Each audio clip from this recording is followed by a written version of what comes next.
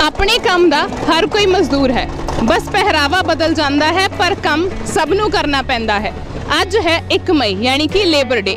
ਇਸ ਦਿਨ ਨੂੰ ਮਨਾਉਣ ਦੀ ਸ਼ੁਰੂਆਤ 1889 ਦੇ ਵਿੱਚ international federation of socialist group ਅਤੇ ਟ੍ਰੇਡ ਯੂਨੀਅਨਸ ਵੱਲੋਂ ਸ਼ਿਕਾਗੋ ਦੀ ਹੇ ਮਾਰਕੀਟ ਵਿੱਚ ਹੋਏ ਦੰਗਿਆਂ ਦੀ ਯਾਦ ਤੋਂ ਸਬਕ ਸਿੱਖਣ ਲਈ ਕੀਤੀ ਗਈ ਸੀ।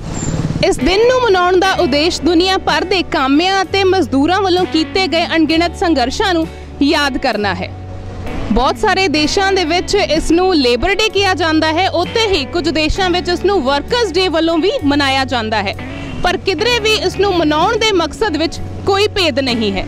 ਤੇ ਜੇ ਗੱਲ ਕਰੀਏ ਭਾਰਤ ਦੀ, ਤਾਂ ਭਾਰਤ ਦੇ ਵਿੱਚ ਲੇਬਰ ਡੇ ਮਨਾਉਣ ਦੀ ਸ਼ੁਰੂਆਤ ਚੇਨਈ ਵਿੱਚ 1923 ਨੂੰ ਲੇਬਰ ਕਿਸਾਨ ਪਾਰਟੀ ਆਫ ਹਿੰਦੁਸਤਾਨ ਵੱਲੋਂ ਕੀਤੀ ਗਈ ਸੀ।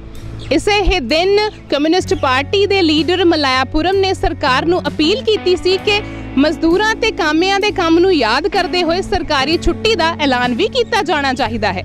ਸੋ ਇਹਨਾਂ ਕਾਰਨਾਂ ਕਰਕੇ ਹੀ ਪੂਰੀ ਦੁਨੀਆ ਦੇ ਵਿੱਚ 1 ਮਈ ਨੂੰ ਲੇਬਰ ਡੇ ਵਜੋਂ ਮਨਾਇਆ ਜਾਂਦਾ ਹੈ।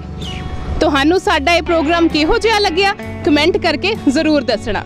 ਤੇ ਮੈਨੂੰ ਜਸਪ੍ਰੀਤ ਨੂੰ ਦਿਓ ਇਜਾਜ਼ਤ, ਪਰ ਤੁਸੀਂ ਬਣੇ ਰਹੋ ਸੇਨ ਸੋਲਜਰ ਟਾਈਮਸ ਦੇ ਨਾਲ ਫੇਸਬੁੱਕ ਅਤੇ YouTube ਉੱਤੇ।